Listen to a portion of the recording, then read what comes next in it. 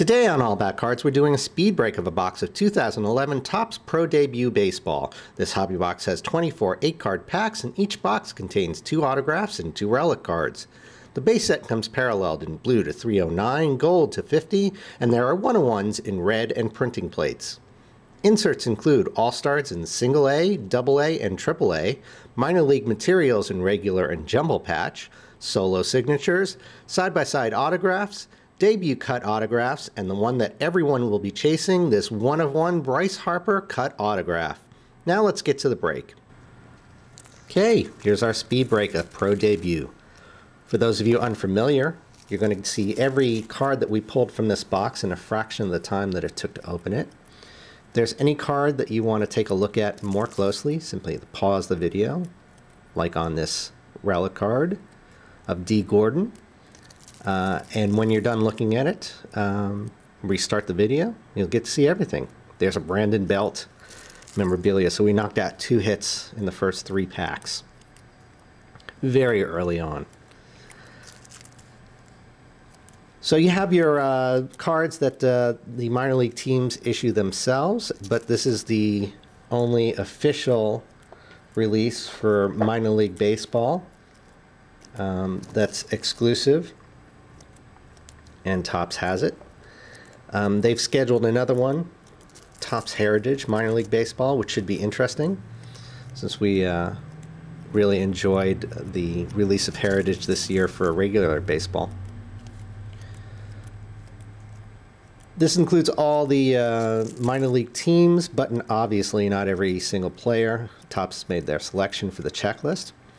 Uh, a lot of movement so there are some players that you'll see here on certain teams that have already either moved up or down. But this is a good representation of um, the best that's out there in the minor leagues right now.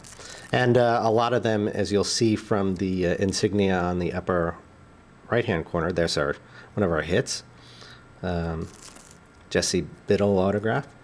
Uh, you'll see on the upper right-hand corner um, a foil marker and this mean that means that this is their pro debut and this is their first card.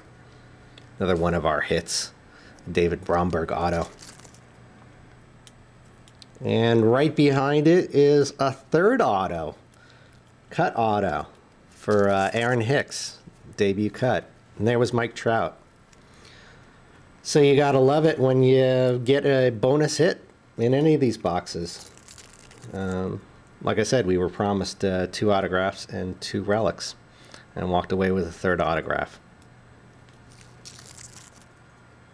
But of course, this is the year of Bryce, and the big chase is for the Bryce Harper cut auto.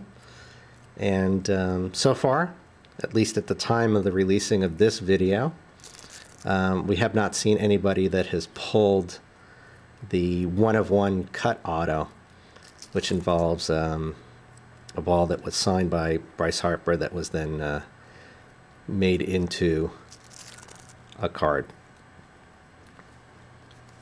So all in all, a really nice set for minor league collectors. Great for prospecting. Great for going down to the ballparks and getting some autographs. And with this pack, that should do it for this box. And here are the top 10 hits of the box. At number 10, the Zach Britton Double-A All-Stars. At number 9, the blue Caleb Cowart. At number 8, the blue J.R. Murphy. At number 7, the blue Hak-Ju Lee.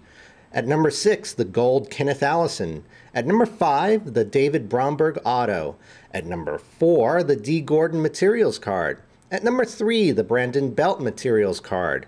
At number two, the Jesse Biddle autograph number to 199. And at number one, the Aaron Hicks debut cut auto number to 95. And that will do it for this speed break. Thanks for watching. Make sure you check out our blog and our Facebook page, follow us on Twitter, and subscribe to our YouTube channel.